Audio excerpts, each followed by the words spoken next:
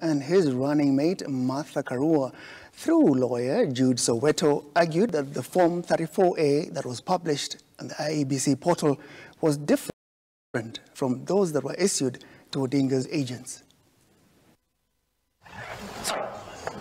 Day one of the presidential petition hearing at the Supreme Court kicked off on Wednesday morning. Action 2022 do not meet the standards or conform to either of the forms that the IEBC said were going to be used, and this evidence is in the affidavit. The petitioners Raila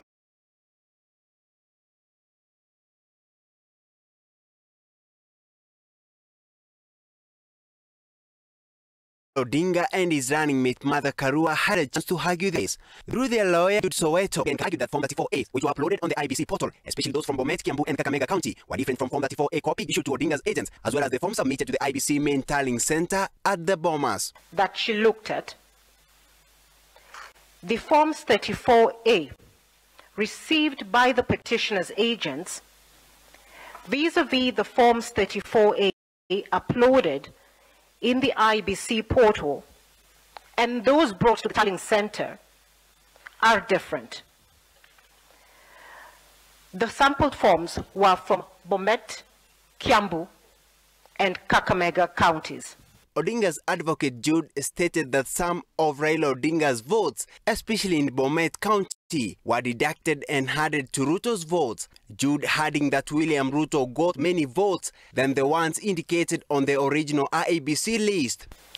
It is in the forms or the sample of forms, the 41 sample of forms exhibited by Celestine Nyango, that votes have been reduced from the first petitioner and added to the first respondent. The issue of postponement of the election in Kakamega and Mombasa County, as well as other places, was served hot in the hearing, with the petitioner stating that the postponement were targeted at Raila Odinga's stronghold.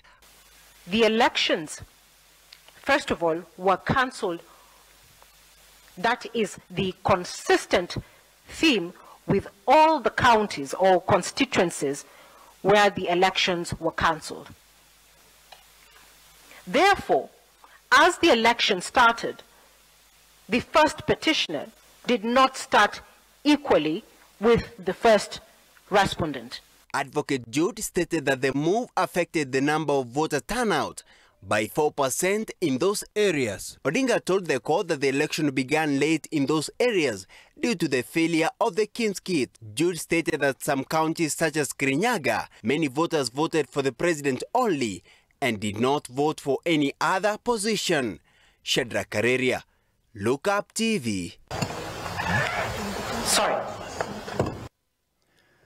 the constitution of the commission and the public division during the presidential election announcement